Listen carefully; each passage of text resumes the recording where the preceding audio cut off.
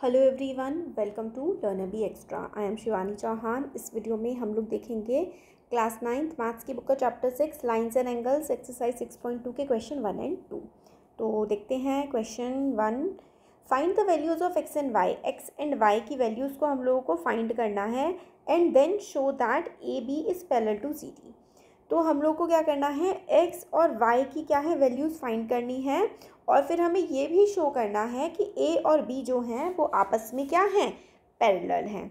अब हमें एक चीज़ तो पता है कि एक लीनियर पेयर की प्रॉपर्टी होती है। लीनियर पेयर की प्रॉपर्टी हम लोग को क्या कहती है कि देखो, इस तरीके से ऐसे ये वाली जो लाइन जा रही है, ये वाली लाइन जा रही है, इस पे और इसको ये वाली लाइन ऐसे करके काट रही है। अब इस लाइन पे ये वाले जो ये दोनों एंगल बनेंगे ना, इन दोनों एंगल्स का सम क्या होगा? 180 डिग्री होगा। ये चीज़ हम लोग को पता है कि ये भाई लीनियर पेयर की प्रॉपर्टी यहाँ पर लग रही है। तो हम लोग क्या करेंगे?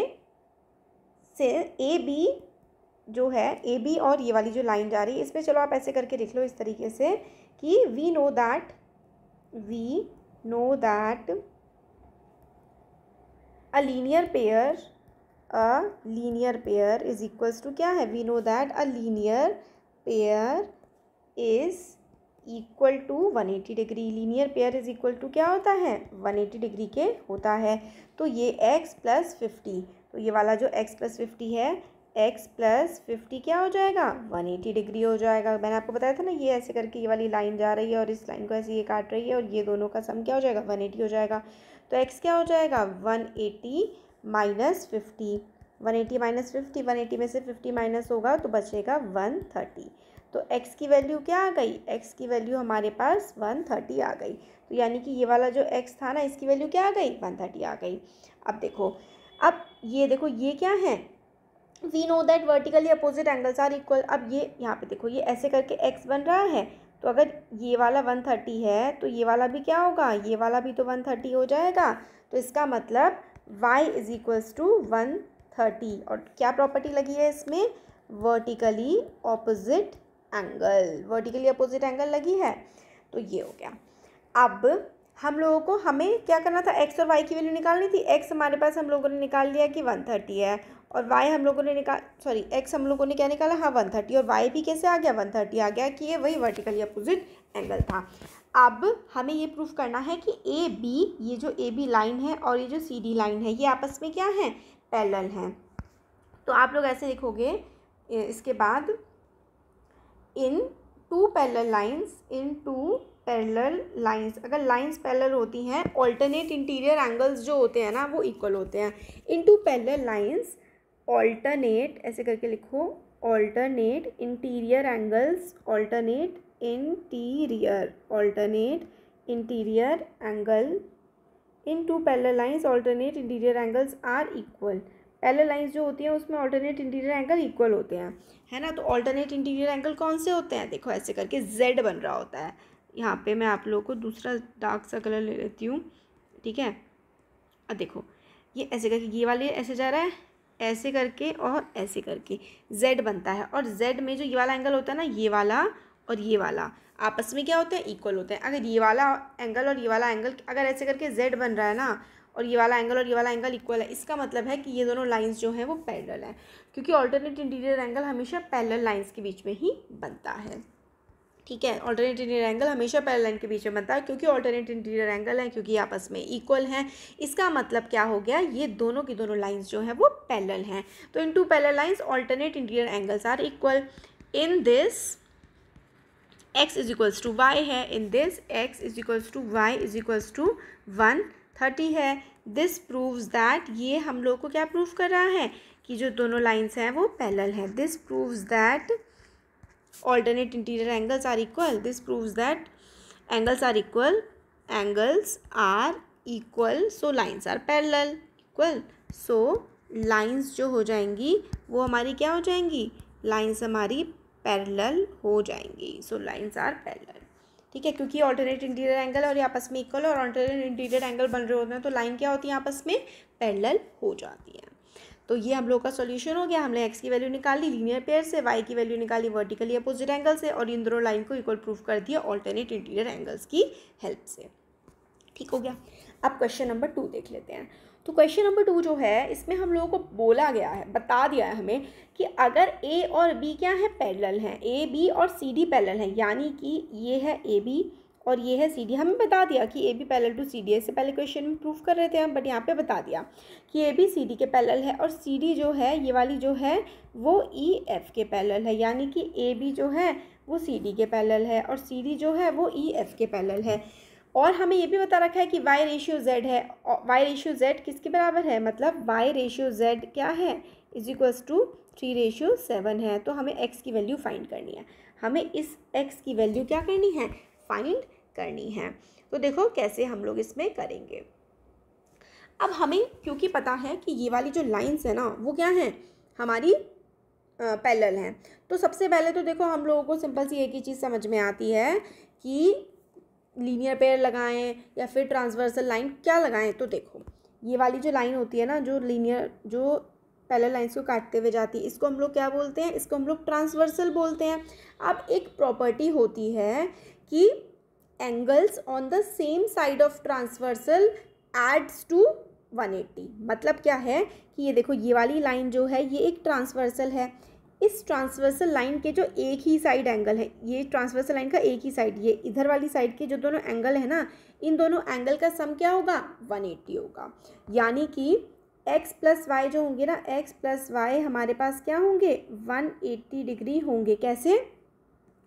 एंगल ऐसे करके आप लोग लिखोगे angles on same side of transversal angles on same side angles on same side of transversal angles on same side of transversal line angles on same side of transversal line sums up to one eighty sums up to one eighty degree तो angles on same side of transversal जो angles होते हैं transversal की same side पे, उनका जो addition होता है ना, वो क्या होता है? वो हमारा 180 डिग्री हो जाता है। Angles on same side of transversal add up to 180 degree यानी कि ये जो ट्रांसवर्सल लाइन थी, इसके जो एक तरफ़ के एंगल आते हैं, इन दोनों का सम क्या आता है? इन दोनों का सम 180 आता है। तो ये हम लोग अगर इसको फ़र्स्ट मान लें कि ये हमारा फ़र्स्ट हो गया। ऑल्सो हम लोगों को एक चीज़ और पता है, ये देखो, ये जो है, ये वाला ये ये वाला जो ओ बन रहा है, क्योंकि ये हमारी ट्रांसवर्सल जा रही है और ये दो पैरेलल लाइंस हैं तो जो ये ओ है, ये वाला और ये वाला, ये दोनों आपस में क्या होंगे? इक्वल होंगे। ओ और जेड क्या होंगे? इक्वल होंगे। क्यों होंगे? क्योंकि देखो, जैसे कि इस तरीके से पैरेलल लाइन जा रही होती है ना, उसको ट्रांसफ़र से कट कर रही होती है तो ये वाला एंगल और ये वाला एंगल क्या होता है? कॉरस्पॉन्डिंग एंगल होते हैं। तो जो ओ है और जेड है, वो क्या है? ओ और जेड हमारे कॉरस्पॉन्डिंग एंगल ओ और जेड कॉरस्पॉन्डिंग एंगल बन रहे हैं, है ना? तो आप ऐसे लिख दो O is equals to Z corresponding angle ठीक है, ये कॉरस्पॉन्डिंग एंगल है। तो इस चैप्टर के लिए आप लोगों ने जो इससे पहले की क्लासेस में भी पढ़ा हुआ है ना, अगर आप लोगों को थोड़ा सा भी मतलब कन्फ्यूज़न है तो मैं एक अलग से भी वीडियो बनाऊँगी। वैसे मैंने क्लास बना रखा है करस्पॉन्डिंग एंगल क्या होते हैं ऑल्टरनेट इंटीरियर क्या होते हैं लीनियर पेयर क्या होता है, इस तरीके का। करस्पॉन्डिंग एंगल देखो ये होता है ना, ये ऐसे दो पहले लाइन है और ऐसे करके ट्रांसवर्सल जा रही है तो ये वाला एंगल और ये वाला एंगल क्या होगा, आपस में इक्वल होगा। ये होता है करस्पॉन्डिंग एंगल तो ओवर जेड जो है वो करस्पॉन्डिंग एंगल है। और इसी तरीके से ये देखो, ज़रा एक चीज़ और है कि देखो, ये वाली जो लाइन जा रही है, ये ये वाली लाइन है और ये ये इस लाइन के ऊपर ये दोनों जो एंगल बन रहे हैं, ये क्या बन रहे हैं? लीनियर पेयर बना रहे हैं। इसका मतलब क्या है कि y प्लस ओ क्या है? वन एटी डिग्री है है ना? लीनियर पेयर लीनियर पेयर तो हर जगह घुसता है भाई। लीनियर पेयर है। और इसी तरीके से अगर हम लोग को देखें, ये लीनियर पेयर है। ये वाला और ये ये वाला लीनियर पेयर हमारा बन रहा है। और आप अगर देखो कि O इज़ इक्वल्स टू क्या है? Z है है ना? O Z के बराबर है तो इस O की जगह मैं Z रख दूँ तो Y प्लस Z क्या हो जाएगा? 180 हो जाएगा। क्यों? क्योंकि O is equals to Z है। इतना आ गया। अब अब थोड़ी सी काम की बात आई है। क्यों? क्योंकि हम लोग को क्या दे रखा है? वाई और जेड का रेशियो दे रखा है थ्री रेशियो सेवन तो वाई रेशियो जेड क्या है? Y ratio z three ratio seven है। तो अब हम इसको क्या ले लेंगे? अब हम इसको ऐसे करके ले लेंगे। Three a comma seven a ऐसे करके ले लेंगे। तो वाई की जगह आप लोग क्या रख सकते हो? वाई की जगह आप लोग रख दो थ्री ए और जेड की जगह क्या रख दो? सेवन ए रख दो। रेशियो वालों को तो हम लोग ऐसे ही ले लेते हैं। इज़ इक्वल्स टू फिर वन एटी अब आपकी वैल्यू आ जाएगी ये हो जाएगा ten a is equals to one eighty degree और ए की वैल्यू क्या हो जाएगी? क्योंकि टेन मल्टीप्लाई में था तो इक्वल टू से दूसरी तरफ़ जा करके डिवाइड हो जाएगा। तो ए क्या आ जाएगा? ए हमारे पास आ जाएगा एटीन ए की वैल्यू क्या आ जाएगी? ए की वैल्यू हो जाएगी एटीन डिग्री डिग्री में आ जाएगा। ठीक है, अब ए हमारे पास एटीन डिग्री आ गया। तो हमारे पास वाई क्या है? वाई तो हमारे पास थ्री ए है और जेड हमारे पास सेवन ए है। तो वाई की वैल्यू क्या आ जाएगी? थ्री ए यानी कि थ्री इंटू एटीन तो एटीन थ्री से क्या होता है? फिफ्टी फोर और जेड क्या है? जेड है हमारे पास सेवन ए तो ये क्या हो जाएगा? Seven into a seven into eighteen यानी कि सेवन इंटू एटीन क्या हो जाएगा? वन ट्वेंटी सिक्स हो जाएगा। तो हमारे पास वाई की वैल्यू आ गई फिफ्टी फोर जेड की वैल्यू आ गई वन ट्वेंटी सिक्स अब हम लोगों को x की वैल्यू निकालनी है। X की वैल्यू कैसे निकालोगे? तो देखो, x प्लस वाई क्या है? X plus y one eighty degree है। क्यों? क्योंकि लीनियर ये जो लाइन है, इस ट्रांसवर्सल के इस तरफ़ के जो दोनों एंगल होते हैं, इनका सम वन एट्टी होता है। वाई की वैल्यू आ गई तो तो z x की भी आ जाएगी, क्योंकि एक्स प्लस वाई क्या है? वन एट्टी है। अब वाई की जगह आप फिफ्टी फोर रखोगे, परेशान मत हो, अभी दोबारा से समझाऊँगी। टफ है थोड़ा सा ना, बहुत सारी चीज़ें लग रही हैं। X is equals to one eighty minus fifty four one eighty में से फिफ्टी फोर जाएगा तो हमारे पास बचेगा वन ट्वेंटी सिक्स तो एक्स की वैल्यू क्या आ गया बच्चों? वन ट्वेंटी सिक्स तो अब हमारा क्वेश्चन हो गया है पूरा। अब क्या क्या हुआ है इस क्वेश्चन में ये मैं आप लोग को बता देती हूँ फिर से। तो देखो क्वेश्चन नंबर टू जो था ना इसमें हम लोग को बोल रखा था कि आ, क्या बोल रखा था? ये जो लाइन्स है ना ये वाली ये ये ये आपस में पैरेलल हैं।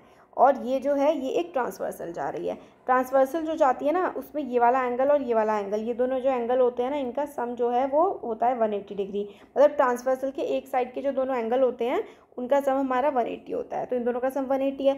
ये और ये क्या है? करस्पॉन्डिंग एंगल है, क्योंकि ये पैरेलल लाइन्स है। तो ओ और जेड क्या हो जाएँगे? आपस में इक्वल हो जाएँगे। अब ये वाली जो लाइन ऐसे करके जा रही थी और ये वाला, इन दोनों का सम क्या होगा?